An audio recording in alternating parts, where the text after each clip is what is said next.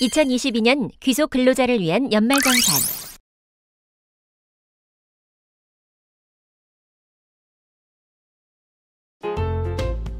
안녕하세요.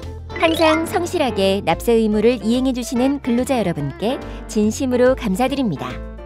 연말정산 업무는 소득세법에 따라 근로소득세를 확정하는 과정이며 근로자는 소득 세액 공제 신고서와 증명 서류를 원천 징수 의무자에게 제출하여야 합니다. 따라서 공제 서류를 꼼꼼히 검토할 의무가 있으며 검토를 소홀히 할 경우 가산세를 부담할 수 있으니 세심한 주의가 필요합니다. 이 동영상 교육을 보시고 올해도 연말 정산을 잘 마무리하시기 바랍니다.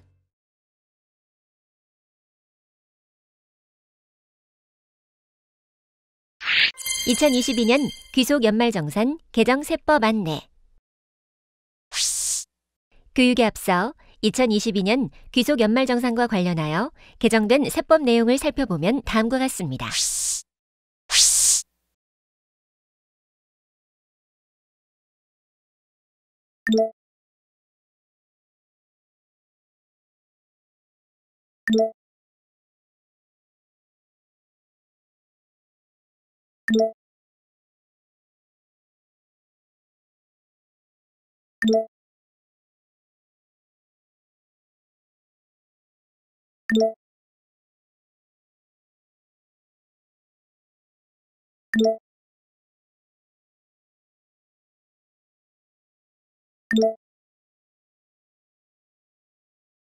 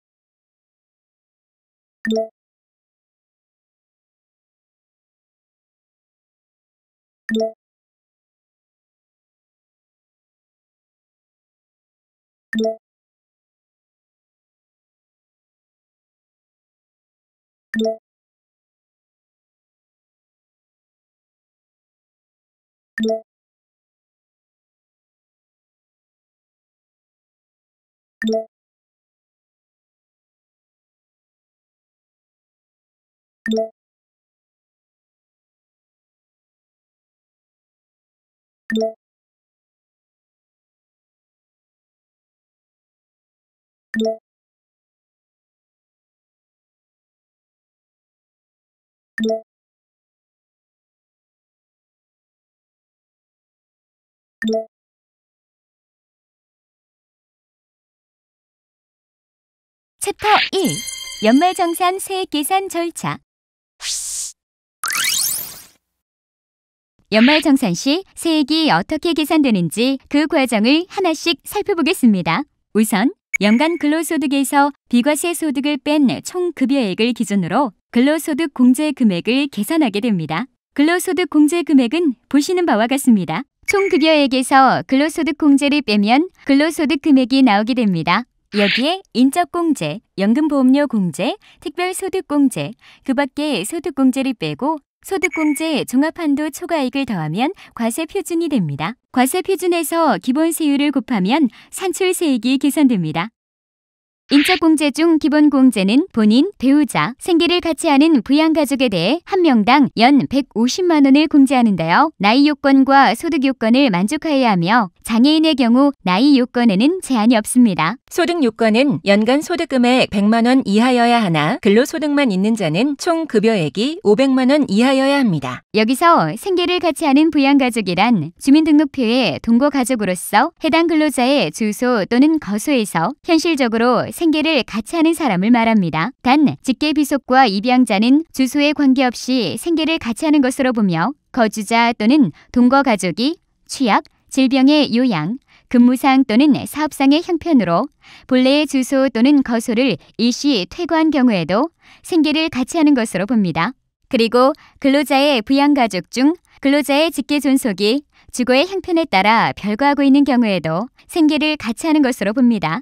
여기서 주거의 형편에 따라 별거하고 있는 경우란 거주자가 결혼으로 인한 분가 또는 취업 등으로 인하여 직계 존속과 주민등록표상 동일한 주소에서 생계를 함께하고 있지 아니하나 직계 존속이 독립된 생계 능력이 없어 당의 거주자가 실제로 부양하고 있는 경우를 말합니다.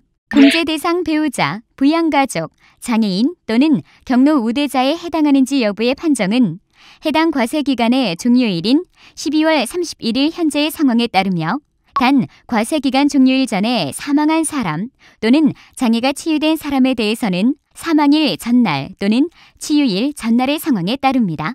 인적 공제 중 추가 공제는 기본 공제 대상자가 다음에 해당하는 경우 추가 공제됩니다. 70세 이상의 경우 경로 우대로 100만 원, 장애인의 경우 200만 원, 부양 가족이 있거나 기혼인 여성 근로자인 경우 50만 원의 부녀자 공제가 적용되며 배우자가 없는 자로서 만 20세 이하 부양 자녀가 있는 경우 100만 원의 한부모 공제가 추가로 적용됩니다. 다만 부녀자 공제와 한부모 공제는 중복하여 적용되지 않고 혜택이 더 큰 한부모 공제만을 적용합니다. 추가 공제 중 장애인에 대해 설명드리겠습니다. 소득 공제가 가능한 장애인은 첫 번째, 장애인 복지법에 의한 장애인 및 장애아동 복지 지원법에 따른 장애아동 중 같은 법 제21조 제1항에 따른 발달 재활 서비스를 지원받고 있는 사람과 두 번째, 국가 유공자 등 예우 및 지원에 관한 법률에 의한 상위자 및 이와 유사한 자로서 근로 능력이 없는 자. 세 번째, 항시 치료를 요하는 중증 환자를 말합니다. 여기서 항시 치료를 요하는 중증 환자라 함은 지병에 의해 평상시 치료를 요하고 취약 또는 취업이 곤란한 상태에 있는 자를 말합니다. 장애인 공제 시 제출할 서류는 장애인 복지법에 의한 장애인과 국가유공자 등 예우 및 지원에 관한 법률에 의한 상의자 등의 경우 해당 증명서 또는 장애인 등록증 사본 등 장애 사실을 증명하는 서류를 원천 징수 의무자에게 제출하면 되고 항시 치료를 요하는 중증 환자는 의료기관에서 발행하는 장애인 증명서를 원천 징수 의무자에게 제출하여야 소득공제가 가능합니다. 연금보험료 공제는 국민연금보험료, 공무원 연금, 사립학교 교직원 연금 등의 공적 연금보험료에 본인 부담금 전액이 소득공제됩니다. 특별소득공제는 보험료 공제, 주택자금 공제, 기부금 2월분이 있는데요. 우선 보험료 공제의 경우 국민건강보험료, 고용보험료, 노인장기요양보험료 전액이 공제됩니다. 주택자금 공제는 주택 임차 차입금 원리금 상환액 공제와 장기주택 저당 차입금 이자 상환액 공제가 있습니다. 첫 번째로 주택 임차 차입금 원리금 상환액 공제는 과세 기간 종료일 현재 무주택 세대의 세대주인 근로자와 세대주가 주택 관련 공제를 받지 아니한 경우에 세대 구성원 중 근로자가 국민주택 규모의 주택을 임차하기 위하여 입주일과 전입일 중 빠른 날 전후 3개월 이내 금융기관으로부터 차입한 주택 임차 자금을 당해 금융기관이 임대인의 계좌로 직접 입금하는 경우와 총 급여액이 5천만 원 이하인 근로자가 입주일과 전입일 중 빠른 날 전후 1개월 이내에 대부업을 영위하지 않는 거주자에게 이자율 1.2% 이상으로 하여 차입한 임차 차입금인 경우 원리금 상환액의 40%를 근로소득 금액에서 공제합니다. 단 주택 마련 저축 소득 공제액을 합하여 400만 원 한도로 소득 공제가 가능합니다. 신청 서류는 주민등록등본과 주택자금 상환 등 증명서 등을 연말정산 시 회사에 제출하여야 합니다. 거주자 간 주택 임차 차입금 원리금 상환의 공제를 신청하는 경우 위의 신청 서류 외에 근로소득 지급 명세서상 월세액, 거주자 간 주택 임차 차입금 원리금 상환액 소득 세액 공제 명세서를 별도로 첨부하여 제출하여야 합니다. 두 번째로 장기주택 저당 차입금 이자 상환액 공제는 주택을 소유하지 아니하거나 1주택을 소유한 세대의 세대주와 세대주가 주택 임차 차입금 원리금 상환액, 주택 마련 저축, 장기주택 저당 차입금 이자 상환액 공제를 받지 아니한 경우에 세대 구성원 중 근로소득자가 2014년부터 2018년까지는 주택 규모와 상관없이 취득 당시 주택의 기준 시가가 4억 원 이하, 2019년부터 기준 시가 5억 원 이하인 주택을 취득하기 위해 그 주택의 저당권을 설정하고 금융회사 등에서 차입한 장기주택 저당 차입금의 이자를 지급한 경우 해당 과세 기간에 지급한 이자 상환액은 근로소득 금액에서 공제합니다.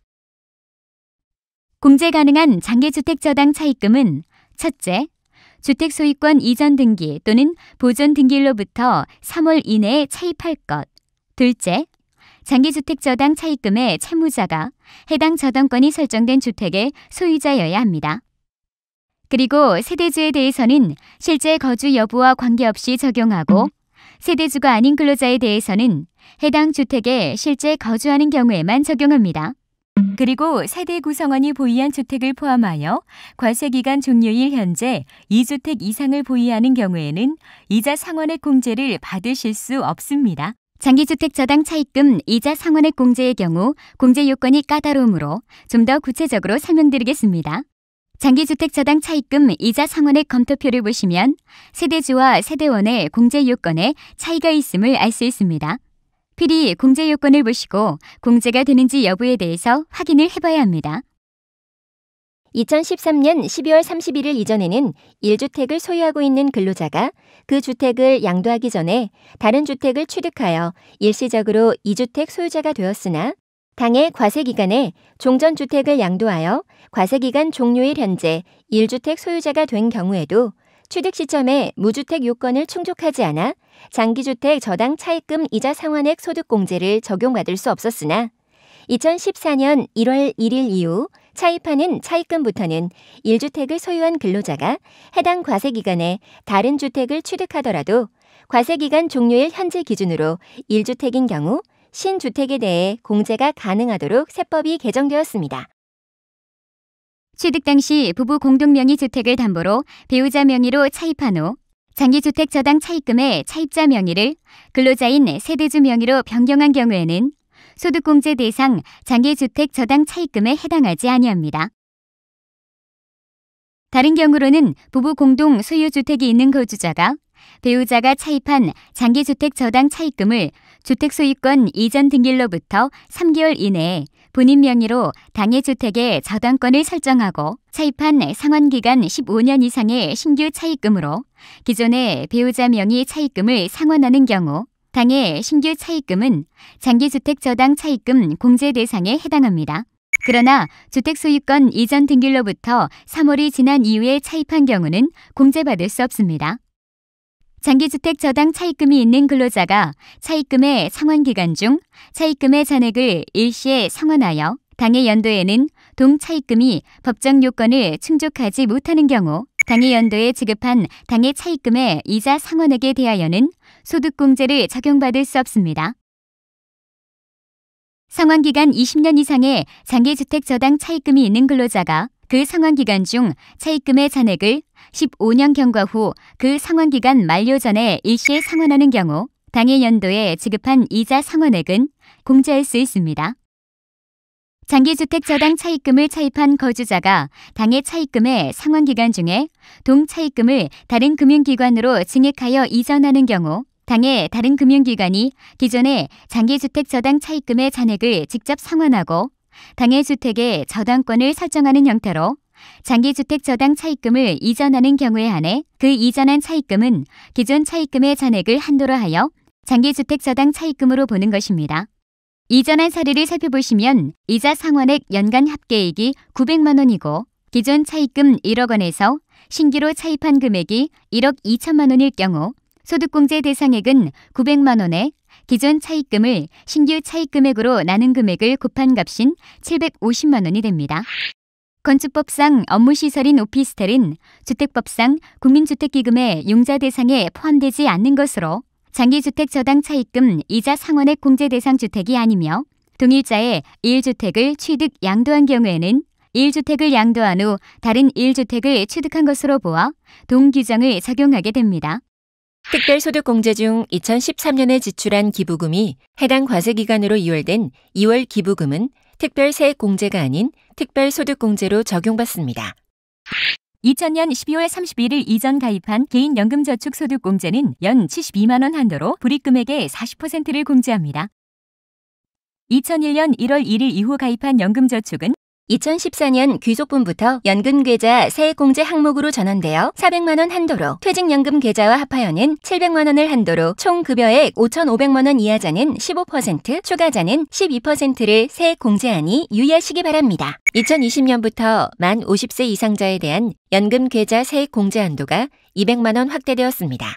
주택 마련 저축 공제는 청약 저축, 주택 청약 종합 저축 등 납입 금액의 40%를 연 96만 원 한도로 공제가 가능합니다. 신용카드 소득공제는 근로자 및 근로자의 기본공제 대상인 배우자, 배우자의 직계 존속을 포함한 직계 존 비속이 재화나 용역을 제공받고 지급한 신용카드 등 사용금액의 연간 합계액이 해당 과세 연도의 총 급여액의 25%를 초과하는 경우 그 초과 금액 중 15에서 80%에 해당하는 금액 및 2022년 신용카드 등 사용 금액 중 2021년 대비 5%를 초과하여 증가한 금액과 2022년 전통시장 사용 금액 중 2021년 대비 5%를 초과하여 증가한 금액의 합계액의 20%에 해당하는 금액이 공제 대상입니다. 공제 한도는 총 급여가 7천만 원 이하인 자의 경우 총 급여액의 20%와 300만 원 중 적은 금액을 한도로 하며 총급여 7천만 원 이상 1억 2천만 원 이하인 자는 250만 원, 1억 2천만 원 초과자는 200만 원이 한도입니다. 공제 한도 초과액 중 전통시장 사용분과 대중교통 이용분, 총급여 7천만 원 이하자의 도서공연 등 사용분, 2022년 신용카드 등 소비 증가분에 대해서는 각각 최대 100만 원까지를 한도로 추가 공제가 가능합니다. 그러나 기본 공제 대상인 형제 자매의 신용카드 등 사용 금액은 공제 대상 사용 금액에 포함되지 아니합니다. 신용카드 등 사용 금액에는 신용카드, 현금 영수증으로 사용한 금액을 말하며 여신 전문 금융업법에 따른 직불카드 또는 선불카드, 전자금융거래법에 따른 직불전자지급수단, 선불전자지급수단 또는 전자화폐를 사용하여 그 대가로 지급하는 금액을 포함합니다. 신용카드 등 사용 금액에 제외되는 항목이 있는데요. 사업 관련 비용, 비정상적 사용액, 자동차 구입 비용, 보험료 및 공제료, 교육비, 공과금, 자산의 구입 비용, 기부금, 월세액 세 공제 대상액, 면세점에서 면세 물품 구입 비용 등은 신용카드 등 사용 금액에서 제외합니다. 다만 2017년 1월 1일 이후부터 신용카드 등으로 구입하는 중고 자동차는 구입 금액의 10%를 신용카드 등 사용 금액에 포함합니다.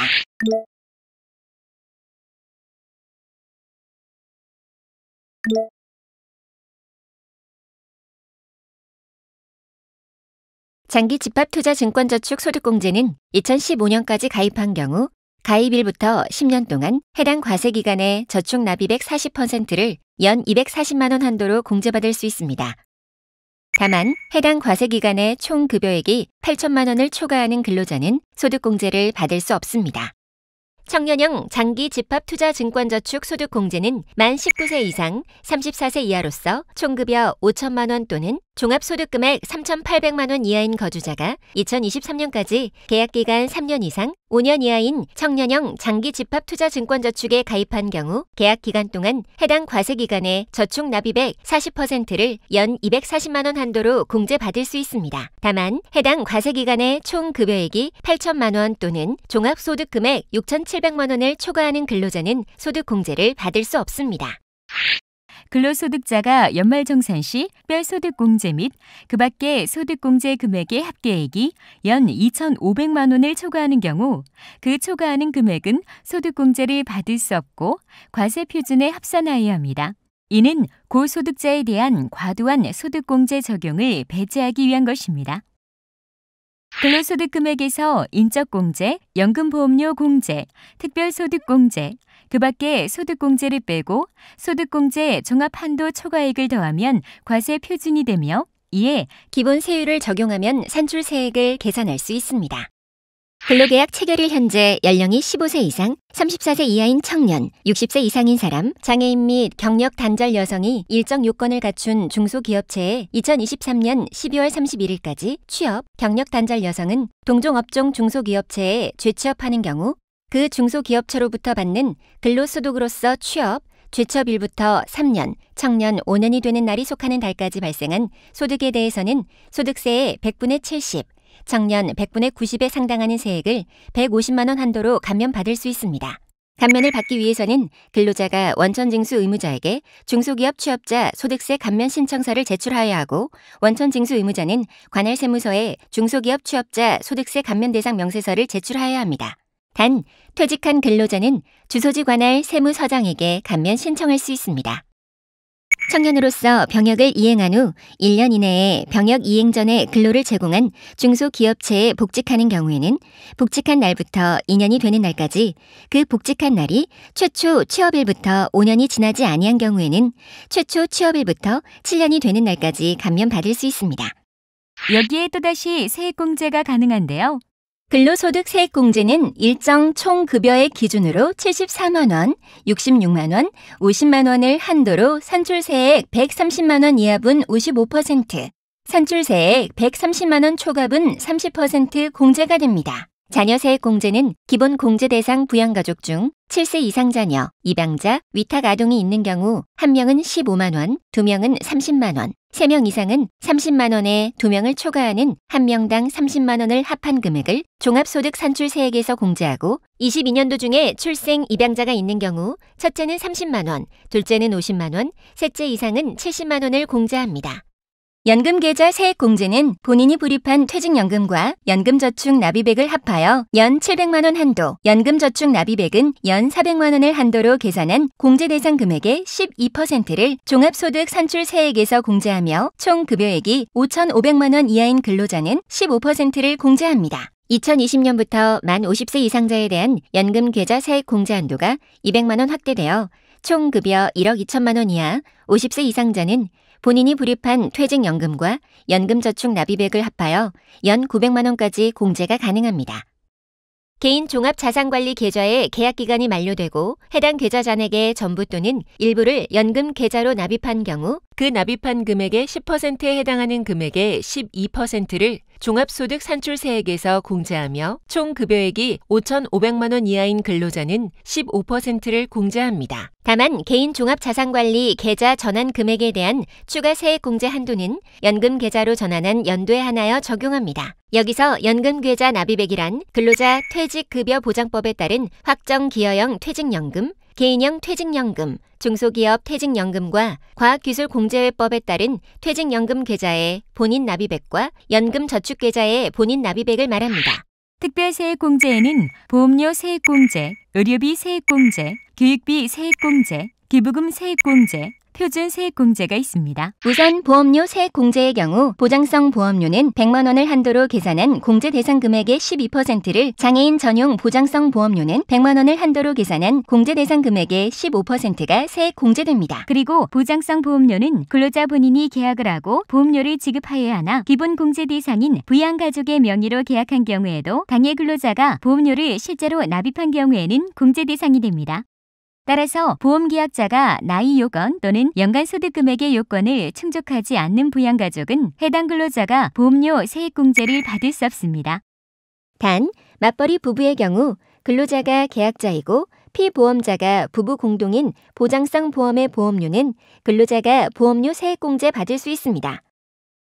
의료비 세액공제는 나이 및 소득의 제한을 받지 않는 기본공제 대상자를 위하여 지출한 의료비로서 총 급여액의 3%를 초과하는 금액의 15%를 세액 공제하는데요. 본인 65세 이상자, 장애인에 대한 의료비와 난임 시술비, 미수가, 선천성 이상화와 건강보험 산정 특례자로 등록된 자에 대한 의료비는 공제 한도가 없으며 소득 금액, 연령 제한이 없는 부양 가족은 연 700만 원 한도가 있습니다. 의료비 세액 공제 대상은 진찰, 치료, 질병 예방을 목적으로 의료법에 정한 의료기관에 지급한 비용과 치료, 요양을 위하여 약사법에 의한 의약품, 한약을 구입하는 비용, 장애인 보장구를 직접 구입하거나 임차하기 위하여 지급한 비용, 의사 등 처방에 따라 의료기기를 직접 구입하거나 임차하기 위하여 지급한 비용, 안경 또는 콘택트 렌즈 구입 비용, 보청기 구입 비용, 노인 장기 요양 보험법에 따라 실제 지출한 본인 일부 부담금, 해당 과세 기간 총 급여 7천만 원 이하자의 산후 조리원 비용이 출산 1회당 200만 원 한도로 공제 대상입니다. 다만 미용, 성형 수술 비용 및 건강 증진 의약품 구입 비용은 공제 대상에서 제외되니 유의하시기 바라며 올해 중에 수령한 실손 의료 보험금은 공제 대상 의료비에서 차감해야 함도 주의하시기 바랍니다.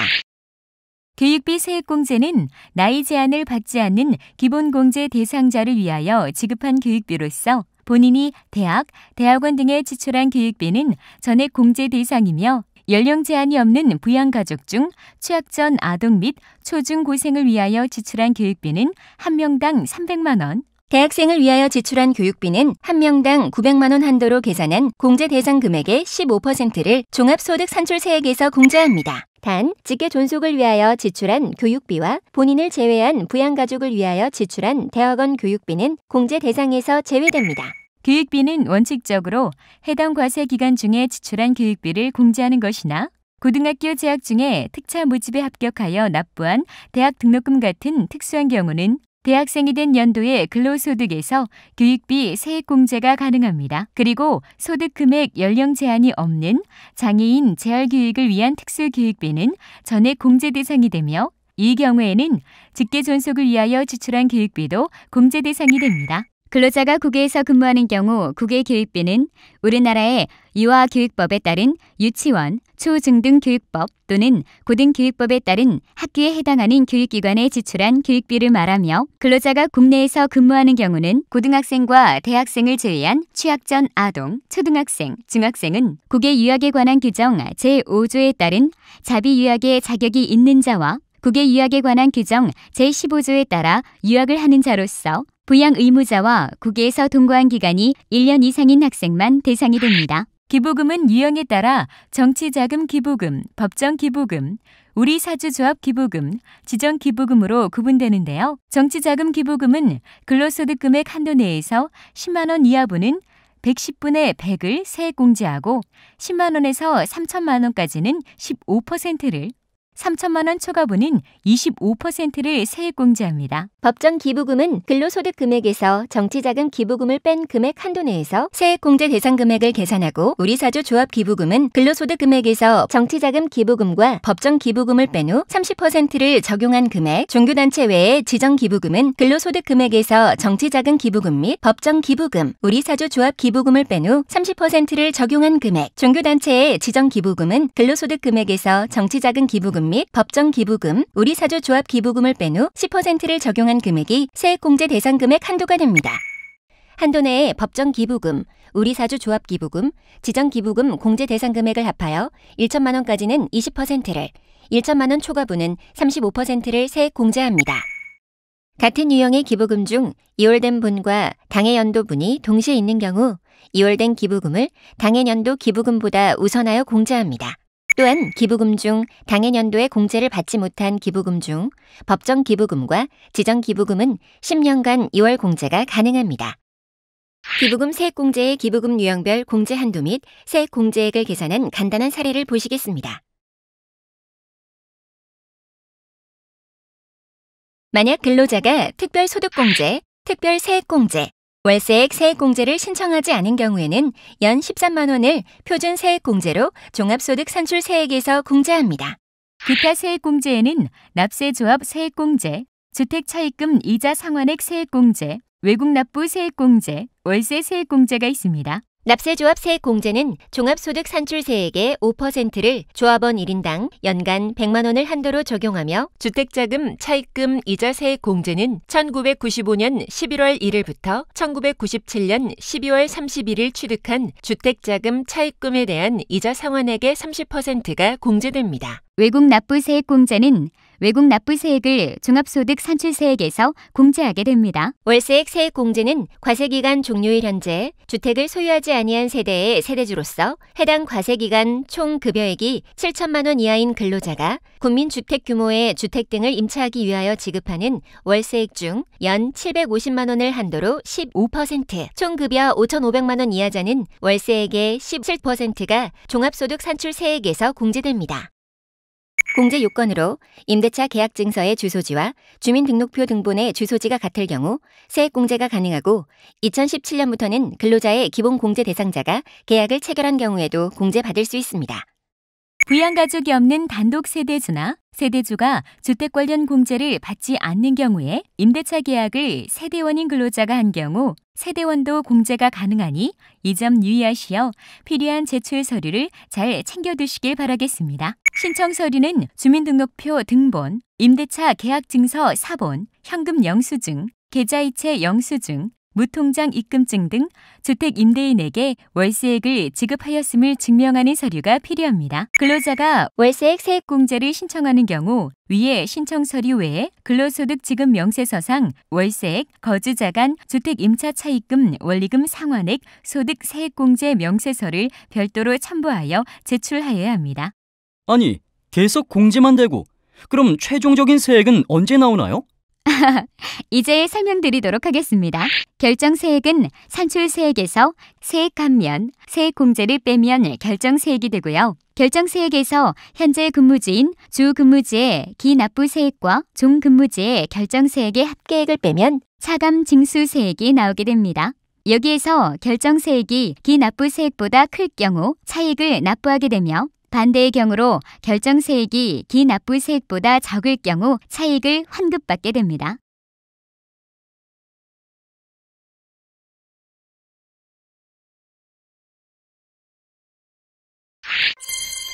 챕터 2 소득 세 공제 신고서 작성 방법. 이제까지 과세 표준 및 세액 계산 과정을 살펴보았습니다. 위에서 설명드린 소득 세액 공제를 받기 위한 증명 서류 및 작성 서류는 다음과 같으므로 연말정산 업무 시 참조하시기 바랍니다.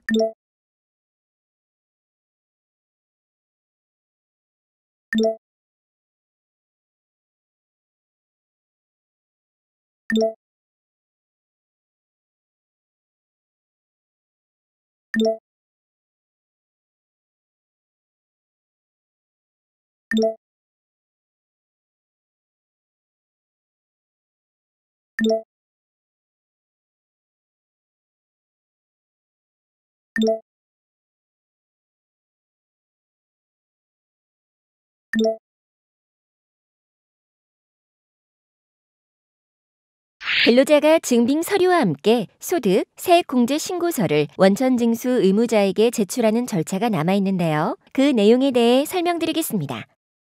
소득, 세액 공제 신고서의 근무 기간, 인적 공제 항목 변동 여부, 분납 신청 여부, 원천 징수 세액 선택 항목을 기재하고 인적 공제 및 소득, 세액 공제 명세, 연금 보험료 공제 등 공제 항목별로 금액을 기재하여 제출합니다.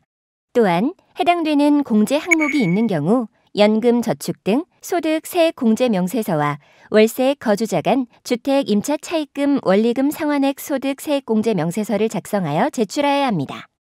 의료비 세액 공제를 받고자 하는 근로자는 의료비 지급 명세서에 의료기관, 사업자 번호, 상호, 의료 증빙 코드, 건수, 금액, 난임 시술비 해당 여부를 기재하여 제출하여야 합니다. 이때 연말정산 간소화 서비스에서 출력한 의료비 자료에 대해서는 의료기관의 사업자 번호나 상호, 건수를 기재하지 않습니다. 기부금 소득 세액 공제를 받고자 하는 근로자는 기부금 명세서를 작성하여 제출하여야 합니다.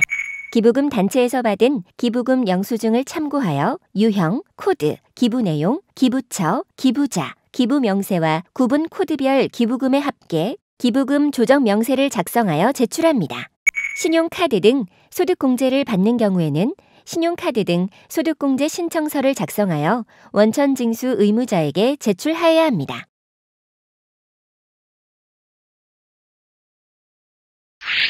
챕터 3 소득 세액공제 이것만은 주의하자.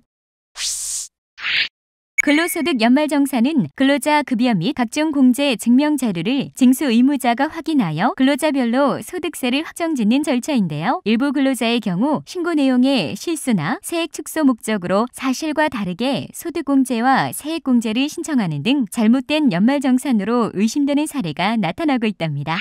국세청은 성실하게 신고하는 대다수 근로자가 상대적으로 불이익을 받지 않도록 잘못 공제하는 사례를 방지하기 위해 노력 중이며 이에 일환으로 연말정산 과다공제 분석 프로그램을 개발하여 공제 오류 발생 여부를 중점 관리하고 있습니다. 연말정산 과다공제에 따른 가산세 부담을 사전에 방지하기 위하여 소득공제와 세액공제 증명서류에 대해 다음 항목을 중점적으로 점검할 필요가 있습니다. 자세한 사항은 여기를 참조하세요.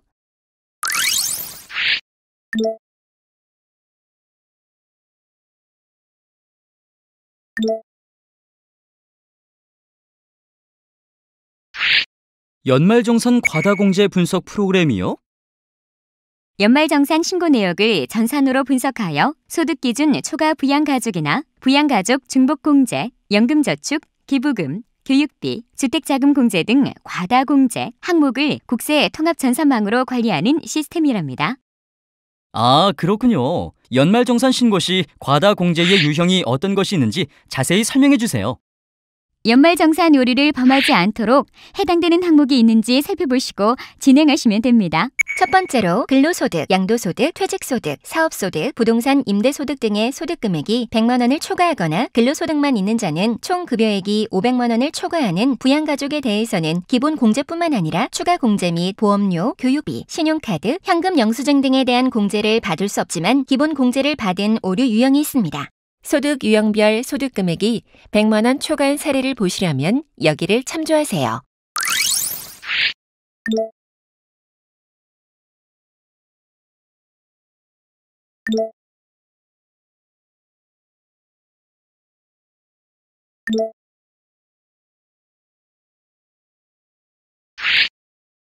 그렇군요. 저도 우리 가족부터 과다 공제가 없는지 살펴봐야겠어요. 두 번째로 맞벌이 부부가 자녀를 중복으로 기본 공제한다든지 형제자매가 부모님을 중복으로 부양가족으로 공제한다든지 직전 연도에 사망한 부양가족 또는 해외 이주한 부양가족을 공제하는 유형도 있고요. 세 번째로 72만 원을 한도로 불입 금액의 40%가 공제되는 개인 연금 저축을 연금 저축으로 잘못 공제하는 경우도 있습니다. 이때 부양 가족인 배우자 명의로 불입한 연금 저축을 근로자 본인이 공제받는 경우도 있습니다. 그리고 연금 저축을 중도 해지하는 경우 해지 연도에 연금 저축액을 공제하는 경우도 있습니다. 네 번째로 기본 공제 대상자가 아닌 부양 가족을 위해 지출한 보험료를 공제하는 보험료 과다 공제 유형이 있습니다. 다섯 번째로 맞벌이 부부가 자녀의 교육비를 중복 또는 분할하여 공제하거나 장학금에 해당하는 금액을 포함하여 교육비를 공제하는 유형이 있습니다. 또한 부양가족의 국내 또는 국외 대학원의 교육비를 공제하는 경우와 사내 근로복지기금에서 지급받은 학자금에 대해 교육비를 공제하는 경우도 있습니다. 네, 그렇군요. 여섯 번째로 형제자매가 같이 부모님을 부양하는 경우 형제자매 중 한 명만 부모님에 대한 의료비 공제가 가능함에도 형제자매가 부모님의 의료비를 나누어 공제하거나 간병비를 공제하는 경우 상해보험 등 보험회사에서 수령한 보험금으로 지출한 의료비를 공제하는 유형이 있습니다. 일곱 번째로 2주택 이상 보유한 근로자가 주택 마련 저축 불이백을 공제하는 유형, 배우자 명의로 된 주택에 대해 장기주택 저당 차입금 이자 상환액 공제하는 유형, 주택을 보유한 근로자나 세대원인 근로자가 주택 임차 차입금 원리금 상환액 공제하는 유형, 보유주택 판정 시 세대원 보유주택을 합산하지 아니하고 주택자금 공제 등을 받는 유형이 있습니다. 여덟 번째로 기본 공제 대상이 아닌 배우자, 직계 존 비속 및 형제자매 등의 명의로 지출한 기부금을 공제한다든지 허위 또는 과다하게 작성된 기부금 영수증을 이용하여 공제한다든지 적격 기부금 영수증 발급 단체가 아닌 곳으로부터 받은 기부금 영수증으로 공제를 받는 유형도 있고요. 아홉 번째로 공제 대상에서 제외되는 부양가족 및 형제자매가 사용한 신용카드를 포함하여 공제하거나 연간 소득금액 합계액 100만 원을 초과하거나 근로소득만 있는 자는 총 급여액 500만 원을 초과한 배우자 명의의 가족카드 사용 금액을 공제하는 경우 근로제공 기간이 아닌 기간 동안 신용카드 등을 사용한 금액에 대해 공제를 받는 유형이 있습니다. 네, 공제 오류를 범하지 않도록 스스로 꼼꼼히 살펴보는 자세도 필요하겠어요. 그렇죠. 연말정산 시 잘못된 공제를 적용받으면 종합소득세 신고나 수정신고를 해야 하고 가산세도 추가로 납부해야 하는 등 여러 가지 불이익이 생길 수 있으니 최대한 정확하게 신고하는 것이 좋습니다. 예? 잘못된 공제 적용 시에는 불이익이 있다고요? 어, 그러면요. 잘못된 소득 공제에 따른 사후 조치가 있을까요? 연말정산 시 소득공제와 세액공제를 실제와 다르게 신청하여 과다하게 공제를 받은 납세자는 과다공제로 인해 과소 납부한 세액과 더불어 가산세를 추가로 부담하게 됩니다.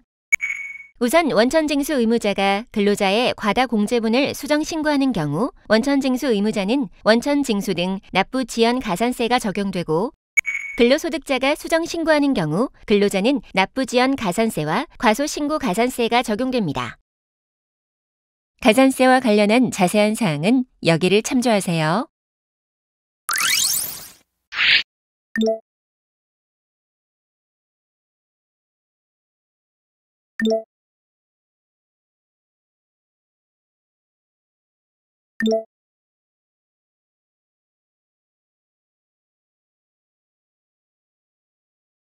조심스러워서 그런지 연말 정산을 진행하면서도 궁금한 게 많아질 것 같네요.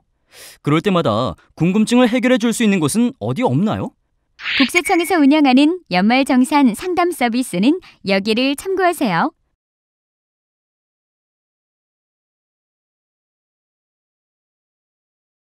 챕터 4. 자주 묻는 연말정산 Q&A. 그럼 자주 묻는 연말정산에 대해 궁금한 점을 질문 주시면 제가 대답을 드리도록 하겠습니다. 알겠습니다. 근로소득 연말정산에 대해서 여쭤보겠습니다. 근로소득 연말정산 계속 근로자의 근로소득 연말정산 시기는 언제인가요? 계속 근로자의 경우 소득을 지급한 해 다음해 2월분 급여를 지급하는 때에 연말정산을 해야 합니다. 중도퇴직자와 휴직자의 연말정산 시기 및 방법은? 중도퇴직자는 퇴직하는 달의 급여를 지급하는 때에 연말정산을 해야 합니다. 퇴직자가 연도 중 재취업을 하는 경우에는 전 근무지 근로소득을 합산하여 연말 정산을 할 수 있도록 전 근무지에서 교부받은 근로소득 원천 징수 영수증을 현 근무지 원천 징수 의무자에게 제출하여야 합니다. 만일 전 근무지에서 2022년 중 퇴사자의 지급 명세서를 국세청에 제출하였다면 퇴사한 근로자가 직접 홈택스에서 전 근무지에 근로소득 원천 징수 영수증을 조회하는 것이 가능합니다. 그리고 휴직자는 퇴직자가 아니므로 계속 근로자와 마찬가지로 다음해 2월에 연말정산을 하여야 합니다. 연말정산 시 소득세 공제를 일부 누락하였을 경우 추가로 공제받을 수 있나요? 종합소득 과세 표준 확정 신고 또는 경정 청구를 통하여 추가로 공제가 가능합니다. 근로자의 소득 공제 누락분에 대하여는 근로자 본인이 다음 연도 5월 중에 주소지 관할 세무서장에게 종합소득 과세 표준 확정 신고를 하거나 국세기본법 제45조의 2, 제4항의 규정에 따라 근로자 본인 또는 원천징수 의무자가 소득공제나 세액공제 누락분을 반영하여 경정 청구를 할 수 있습니다. 다만 경정 청구는 연말정산 세액을 납부하고 법정 기한 내에 지급 명세서를 제출한 경우에 하나여 5년 이내에 가능합니다. 기본공제 연도 중에 결혼, 이혼, 사망한 배우자에 대해 배우자 공제가 가능한지요? 과세 연도 중에 이혼한 배우자에 대하여는 배우자에 대한 기본공제를 받을 수 없습니다. 공제 대상 여부 판정 시기는 과세 기간 종료일 현재입니다. 따라서 과세 기간 중에 배우자와 이혼한 경우에는 과세 기간 종료일 현재 배우자가 아니므로 배우자 공제를 받을 수 없습니다. 과세 연도 중에 결혼을 한 경우에는 과세 기간 종료일 현재 배우자에 해당하므로 배우자의 연간 소득금액 합계액이 100만 원 이하이거나 근로소득만 있는 자는 총 급여액 500만 원 이하인 경우에는 배우자 공제 대상이 됩니다. 배우자가 과세 기간 중에 사망한 경우에도 소득금액 요건을 갖추면 배우자 공제를 적용받을 수 있습니다. 공제 대상 여부를 판정함에 있어 과세 기간 중 사망자는 사망일 전일, 장애가 치유된 자는 치유일 전일의 상황에 의하여 판정합니다. 따로 살고 있는 부모님에 대해 기본 공제를 받을 수 있나요? 따로 살고 있는 부모님도 소득 및 연령 요건을 충족하고 근로자 본인이 실제로 부양하고 있으며 다른 형제 자매 등이 부양가족 공제를 받지 않은 경우에는 공제할 수 있습니다. 기본 공제 대상자란 주민등록표상 동거가족으로서 당해 거주자의 주소 또는 거소에서 현실적으로 생계를 같이 하는 부양가족을 말합니다. 다만 별거하고 있는 직계 존속을 실제로 부양하는 경우로서 만 60세 이상, 장애인의 경우에는 연령 제한 없는 연령 요건 및 연간 소득금액 합계액 100만 원 이하인 소득금액 요건을 모두 충족하고 다른 형제자매 등이 부양가족 공제를 받지 않은 경우에는 공제할 수 있습니다. 실제로 부양하는 경우가 뭐죠? 직계 존속을 실제로 부양하는 경우란 동직계 존속이 독립생계 능력이 없어 주로 당해 근로자의 소득에 의존하여 생활하는 경우를 말합니다. 추가 공제 부양하고 있는 아버님이 장애인이면서 경로 우대자에 해당되면 장애인 추가 공제와 경로 우대자 추가 공제를 모두 받을 수 있는지요? 추가 공제는 기본 공제 대상자가 해당 사유에 해당하는 경우 해당 사유별로 공제하는 것이므로 기본 공제 대상자 1인이 장애인이면서 경로 우대자에 해당될 경우 기본 공제와 더불어 장애인 공제, 경로 우대자 공제가 모두 적용되는 것입니다. 암 환자의 경우 장애인 공제를 받을 수 있는지요? 암 환자라고 해서 무조건 장애인 공제 대상이 되는 것은 아니지만 항시 치료를 요하는 중증 환자로서 소득세법에서 정한 장애인 증명서를 첨부한 경우에는 장애인 공제를 받을 수 있습니다. 장애인 공제 대상이 되는 항시 치료를 요하는 중증 환자란 지병에 의해 평상시 치료를 요하고 취약 취업이 곤란한 상태에 있는 자를 말하며 의료기관에서 항시 치료를 요하는 중증 환자임을 확인할 수 있는 장애인 증명서를 발급받아 제출하는 경우 장애인 공제를 적용받을 수 있습니다. 장애인 증명서를 의료기관에서 발급받는 때에는 담당 의사나 진단이 가능한 의사를 격려해야 하고 발행자란에는 의료기관명과 직임 및 경의한 의사의 서명 또는 날인을 필요로 합니다. 보험료 세액공제 장애인 전용 보장성 보험이란 장애인이 가입한 보장성 보험은 모두 해당하는지요? 장애인 전용 보장성 보험은 기본 공제 대상자 중 장애인을 피보험자 또는 수익자로 하는 보험으로 장애인 전용 보장성 보험은 보험 계약 또는 보험료 납입 영수 중에 장애인 전용 보험으로 표시된 것을 말합니다. 회사에서 근로자를 위해 대신 납부해준 보장성 보험료도 공제받을 수 있나요? 공제 대상 보험료를 사용자가 대신 지급하여 주는 경우에는 동보험료 상당액을 근로자의 급여액에 가산하여 근로소득으로 과세하며 해당 금액에 대하여는 보험료 공제를 적용받을 수 있습니다. 다만 근로소득에서 제외되는 단체 순수 보장성 보험료 등은 과세되는 급여에 포함되지 않으며 보험료 공제 대상에도 해당하지 않습니다. 부양가족 명의로 납부한 지역 국민건강보험료도 공제 가능한지요? 부양가족 명의로 납부한 지역 국민건강보험료는 보험료 공제 대상이 아닙니다. 2021년 12월분 보장성 보험료를 미납하여 2022년 1월에 납부한 경우 해당 보험료를 2021년에 공제받는지 2022년에 공제받는지요. 당해 연도에 납부한 보험료가 공제 대상이므로 실제로 납부한 연도인 2022년에 공제받아야 합니다. 맞벌이 부부의 경우 본인이 기본 공제를 받는 자녀를 피보험자로 하는 보장성 보험을 배우자가 계약하였다면 보장성 보험료 공제를 누가 받을 수 있는지요? 본인 및 배우자가 모두 보험료 공제를 받을 수 없습니다. 기본 공제 대상자를 피보험자로 하는 보험의 보험료를 근로자 본인이 지출한 경우에만 세액공제를 적용합니다. 의료비 세액공제 장남이 부양가족 공제를 받고 있는 부모님의 수술비를 차남이 부담한 경우 차남이 의료비 공제를 받을 수 있는지요? 의료비 공제를 받을 수 없습니다. 본인의 기본 공제 대상자가 아닌 직계 존속에 대한 의료비는 공제 대상이 아닙니다. 이 경우 장남의 경우에도 직계 존속의 의료비를 본인이 부담하지 않았으므로 의료비 공제를 받을 수 없습니다. 공제 대상 의료비를 신용카드로 계산하면 의료비 공제와 신용카드 공제를 모두 적용받을 수 있나요? 의료비를 신용카드 등으로 계산하는 경우 의료비 공제와 신용카드 등 사용금액 소득 공제를 모두 적용받을 수 있습니다. 간병비가 의료비 공제 대상이 되나요? 의료비 공제 대상에 해당되지 않습니다. 일반적으로 간병비의 경우 의료기관에서 간병인을 고용하여 간병 용역을 환자에게 제공하는 것이 아니라 의료기관이 간병인을 소개시켜주는 역할만 하게 되므로 간병인에 대한 지출 비용은 의료비 공제 대상에 해당하지 않습니다. 건강기능식품 구입비도 의료비 공제가 가능한지요?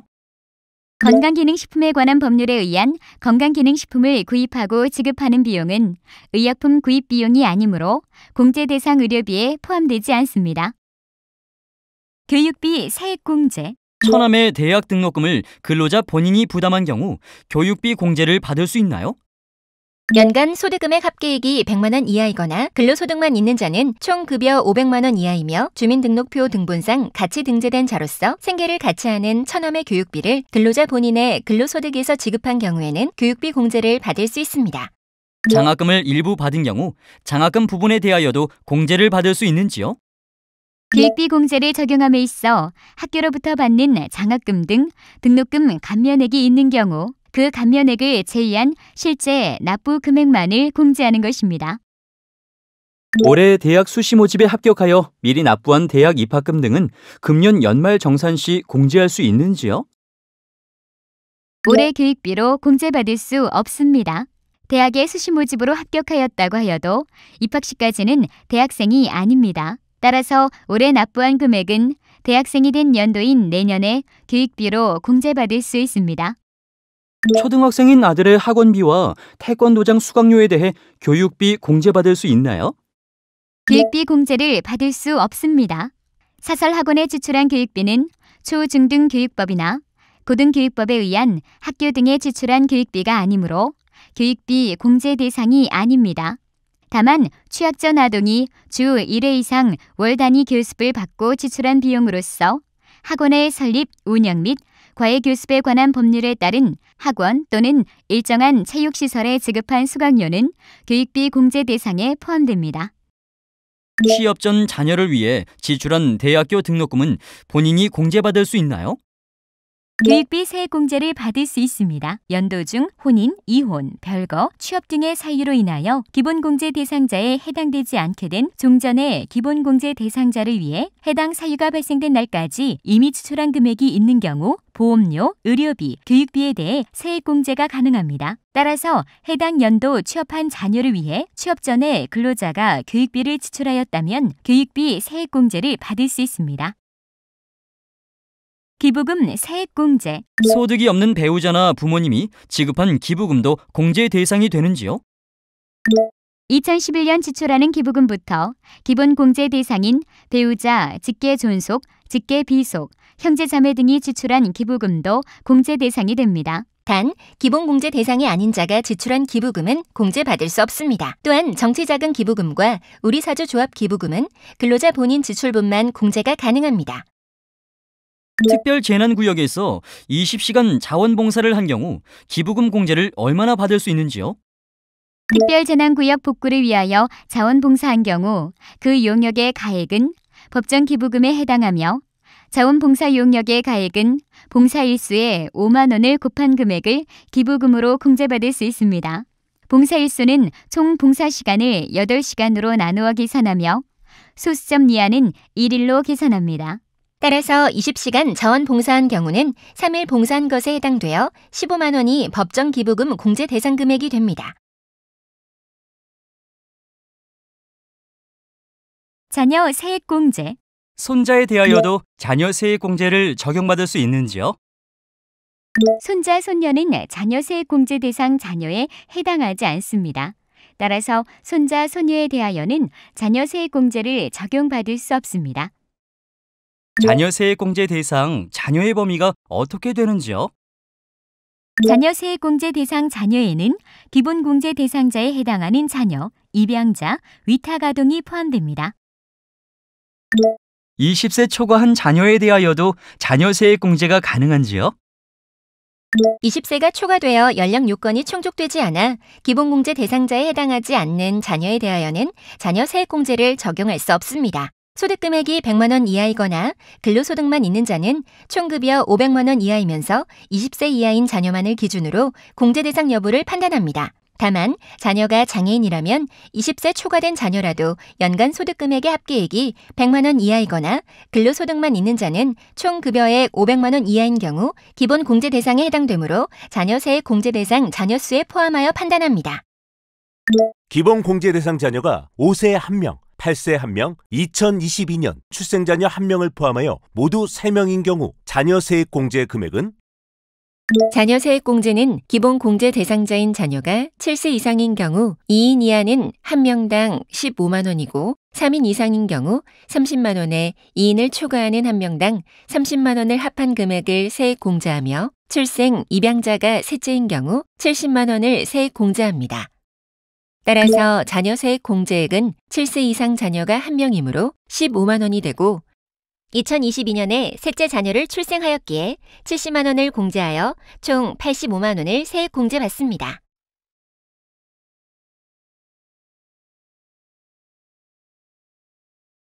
신용카드 등 사용 금액에 대한 소득 공제 입사 전이나 퇴사 후에 사용한 신용카드 등 사용 금액도 공제되는지요?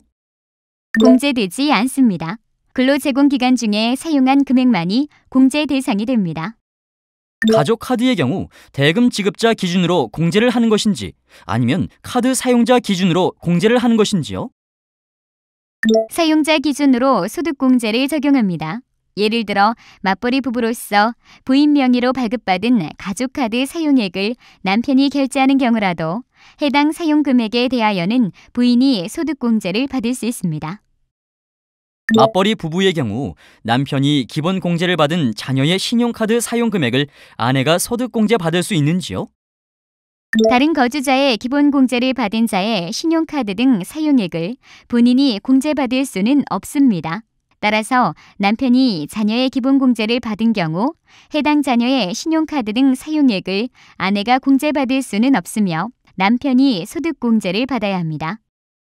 학원의 교육비를 신용카드로 납부하였는데 연말 정산 시 어떤 공제가 적용되는지요? 학원비를 신용카드를 이용하여 결제한 금액은 신용카드 등 사용 금액에 대한 소득공제 대상입니다. 또한 취약전 아동의 경우에는 주 1회 이상 월 단위로 교습받는 학원, 일정한 체육시설 등의 교육비를 신용카드로 지출하였을 경우 신용카드 등 사용금액 공제와 교육비 공제를 모두 적용받을 수 있습니다. 유치원이나 어린이집에 납부하는 수업료, 입학금, 보육 비용은 신용카드로 결제 시 신용카드 등 사용금액 소득 공제 가능한지요? 유아교육법, 초중등교육법, 고등교육법 또는 특별법에 의한 학교 및 영유아 보육법에 따른 어린이집에 납부하는 수업료, 입학금, 보육비용, 기타 공납금은 신용카드 등 사용금액에 대한 소득공제가 불가능합니다. 신용카드로 납부한 전기요금이나 수도요금은 신용카드 등 소득공제가 가능한지요? 신용카드로 전기 요금이나 수도 요금을 납부하는 경우 해당 금액은 소득공제 대상 신용카드 등 사용 금액에서 제외됩니다. 기타 소득공제, 소득이 없는 배우자나 부양가족 명의로 가입한 주택 마련 저축도 공제받을 수 있나요? 공제 대상이 아닙니다. 근로자 본인 명의로 가입한 것만 주택 마련 저축의 공제 대상이 될 수 있습니다. 세대주가 주택자금 공제나 주택 마련 저축 공제를 받지 않았으면 세대원이 주택 마련 저축 공제를 받을 수 있는지요? 근로소득이 있는 세대주만 주택 마련 저축 공제를 받을 수 있습니다. 즉 세대원의 경우 주택 마련 저축공제의 대상이 될 수 없습니다. 주택 마련 저축을 연도 중에 해지하는 경우 해지 전 불이백을 공제를 받을 수 있나요?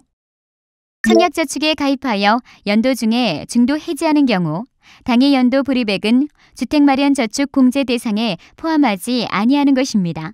다만 주택 당첨이나 만기 등 당초 가입 목적 달성으로 해지하는 경우에는 공제 대상에 포함되는 것입니다. 막혔던 속이 뻥 뚫린 느낌입니다. 덕택에 이번 연말 정산은 실속 있고 성실하게 신고를 잘 해낼 것 같다는 느낌이 팍팍 듭니다. 도움이 되었다니 저희도 기쁘네요. 오리 없는 연말 정산, 성실한 연말 정산, 편리한 연말 정산 서비스와 함께하세요.